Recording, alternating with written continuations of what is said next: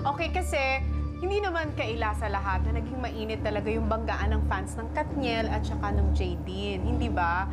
So, ikaw, tatanungin ka namin personally, meron ba kayo talagang ilangan ni Nadine? Nag-meet na ba kayo? Nagkausap na ba kayo? Okay, ah siguro, meron kaming awkwardness ngayong dalawa kasi first of course, with the social media, the Twitter, the Instagram, parang nauunahan ng lahat ng tao bago pa kami mag-meet, di ba? So, hindi pa nabe-break yung awkwardness na yun kasi hindi pa kami formally nami-meet. Hindi pa kami nagme-meet eh.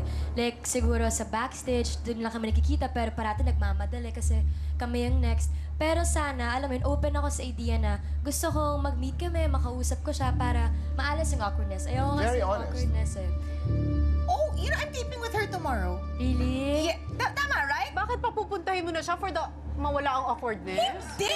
Grabe naman, Ate Chris, ang bilis ha. Ay, hindi! Yayayain ko siya bukas. Sasabihin Oo. ko na, tayo ng Crazy Beautiful You. Di na. Oo, yayain ko siya after our taping. Eh, paano kung magalit you. naman yung mga Jadine fans? Ba't sila magagalit? Eh, nanood lang kami ng movie. Okay. Diba? Okay. Oh, maganda naman ata yung intention ko. Manood tayo ng movie kasi you, you have to take the first step, di ba?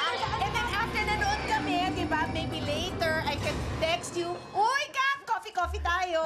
Wow. Good! Sige, basta di ba? Basta nandun ako, promise. Okay. okay.